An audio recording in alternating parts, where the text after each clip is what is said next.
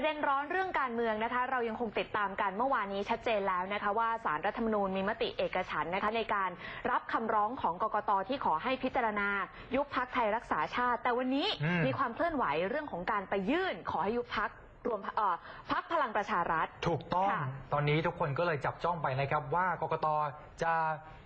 มีการตอบรับเรื่องนี้อย่างไรนะครับ ค่ะหลังจากที่มีกลุ่มกลุ่มหนึ่งนะครับเป็นสมาพันธ์นักกฎหมายเพื่อสิทธิและเสรีภาพ หรือว่าสกสสเข้ายื่นหนังสือนะครับไปถึงกกตบอกว่าพิจารณาหน่อยนะครับ อืมมองไปที่พักพลังประชารัฐหน่อย ค่ะเพราะว่าการเสนอแคนดิเดตนายกรัฐมนตรี มีชื่อของพลเอกประยุทธ์จันทร์โอชานั้น แบบนี้เนี่ยเข้าข่ายลักษณะต้องห้ามหรือเปล่านะครับเพราะว่าท่านนายกเองเนี่ยก็เป็นเจ้าหน้าที่ของรัฐนะครับ ก็ขอให้มีการส่งเรื่องนี้นะครับให้สารรัฐธรรมนูญพิจารณาด้วยนะครับ มาติดตามความเคลื่อนไหวที่สำนักงานคณะกรรมการการเลือกตั้ง หรือกกตกันนะครับ วันนี้นายวินยัตชาติมนตรี เลขาธิการสมาพันธ์นักกฎหมายเพื่อสิทธิและเสรีภาพ หรือว่าสกสสเขาก็เดินทางไปยื่นหนังสือ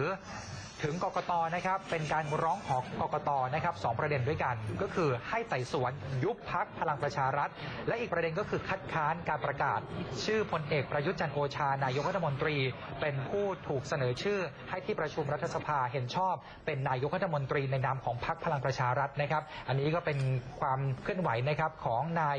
วินยัตชาติมนตรีนั่นเองนะครับก็มีการอ้างอิงว่าพักถูกพลเอกประยุทธ์จันโอชานายกรัฐมนตรีครอบงำรวมถึงยังใช้ตำแหน่งเป็นคุณหรือโทษต่อผู้สมัครและพักการเมือง และใช้นโยบายพักการเมืองเพื่อเอื้อประโยชน์และจูงใจในการหาเสียงเลือกตั้ง แล้วก็ยังเห็นด้วยว่าในการเสนอชื่อพลเอกประยุทธ์เป็นแคนดิเดตนายกรัฐมนตรีนั้น ท่านเป็นบุคคลที่ได้มาโดยไม่ชอบ ไม่เป็นไปตามคันลองตามระบอบประชาธิปไตย จากการยึดอำนาจและบริหารประเทศ รวมทั้งยังถือว่าพลเอกประยุทธ์ เป็นเจ้าหน้าที่ของรัฐที่มีลักษณะต้องห้ามด้วยนะครับ ซึ่งก็ได้เตรียมเอกสารหลักฐานไว้จำนวนกว่า 100 หน้านะครับนำไปมอบให้กับกกตพิจารณา แล้วก็อยากที่จะให้มีการส่งสารรัฐมนูญ วินิจฉัยต่อไปนะครับโดยใช้มาตราเดียวกันแหละครับที่พิจารณาดำเนินการกับพรรคการเมืองอื่น ๆ ก็คือตามมาตรา 92 กรณีเห็นว่าพรรคการเมืองเป็นปฏิปักษ์ต่อการปกครองระบอบประชาธิปไตย อันมีพระมหากษัตริย์ทรงเป็นประมุขและหากกกตไม่ใช้มาตรฐานเดียวกันก็พร้อม